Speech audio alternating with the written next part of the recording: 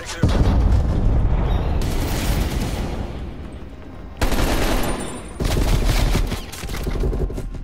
Dead. Don't. We need to repeat that performance.